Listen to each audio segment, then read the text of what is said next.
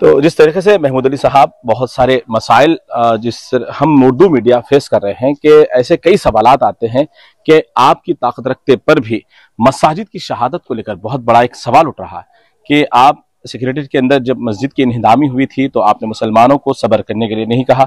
और जिस तरीके से दूसरे मस्जिद उमर फारूक है मस्जिद खाना है तो उसके ताल्लुक से भी आप एक मुस्लिम एक बड़े मिनिस्टर होने पर भी आपने मुसलमानों को किस सबर की तलखीन नहीं की। बहुत बार बोले अब्दुल्ला भाई ऐसी बात नहीं है। जी। हम हमेशा लीड करते रहे बताते रहे कि हमारे सीएम साहब ज़रूर उससे सेक्रेटरीट की मस्जिद बनाएँगे। जी। सेक्रेटरीट की मस्जिद जो है कोई शहीद नहीं का इत्तेफाक से होगा वो। जी। ऐसा हुआ कि कई लोग हाईकोर्ट ऑर्डर के लिए बार बार जा रहे थे सेक्रेटरी नहीं तोड़ना चाहिए। आज देखिए आप सेक्रेटरीट कितना शानदार बना है। जी। लोग नहीं चाहते कभी अच्छी चीज़ को भी नहीं चाहते लोग। जी। कितने लोग हाई कोर्ट गए कितने लोग स्टेटमेंट दिए कितने लोग केसीआर साहब को जो है कुछ लोग तो ऐसे ऐसे लोग उल्टा पुल्टा भी बताए जो हम नहीं बोल सकते जबान मजहबी मामला छेड़ा है आपने। इबादत गाह को नुकसान पहुँचा है किसी साहब लाजिम होते तो सुनना है देखिए इबादत गाह को यकीन वो शहीद हो गई थी मगर केसिया साहब इबादत गाह की नहीं चूँकि हाईकोर्ट का ऑर्डर था उसमें तीन चार दिन की छुट्टियाँ थे। कुछ इंस्ट्रक्शन मिला था कि आप तीन चार दिन में कुछ कर सकते। तो बिल्डर को बुला के कहा कि बिल्डिंगे तोड़ दीजिए। उसने गलती से बिल्डिंग के साथ गलती ये भी तोड़ दिया मंदिर भी तोड़ दिया ये भी तोड़ दिया। सबको मालूम था सीएम साहब नहीं थे वहाँ पे। सीएम साहब फार्म हाउस पे थे और चीफ सेक्रेटरी साहब देख रहे थे सुमेश कुमार साहब। सीएम साहब वो बताया उन्होंने और सीएम साहब से याद लिया कि साहब ऐसा है तीन दिन की छुट्टी है तीन दिन में हम निकाल सकते हैं। तो वो निकालने में गलती से टूट गया सीएम साहब असम्बली में माफ़ी चाहे। ऐसी बात नहीं है। सीएम साहब जो है असम्बली के अंदर माफ़ी चाहे।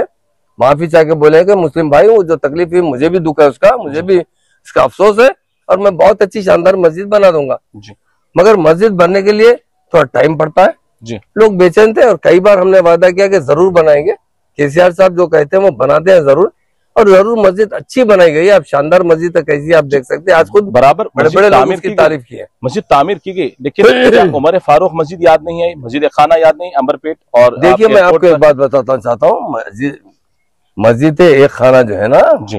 वो मस्जिद ज़रूर एक खाना था। वहाँ पर मुझे किसी ने नहीं कहा कि वहाँ पर कभी जमात बाजमात नमाज़ हुई। जी। पर उसके बाद भी आज भी हम वायदा करते हैं। जी। जब क्योंकि मास्टर प्लान में बिल भर रहा है मैं आपसे पूछना था कि कई जगह जो ब्रिजेस बनते हैं बराबर। और आप देखिए जोगबुतिया लोगों के जाने के लिए रास्ता भी होना चाहिए। वो ब्रिज के लिए सेंट्रल गवर्नमेंट का फंड आया था। जी। वो ब्रिज बनने का था क्योंकि वहाँ किशन रेड्डी साहब एमपी साहब थे वहाँ पे। जी। एमएलए थे।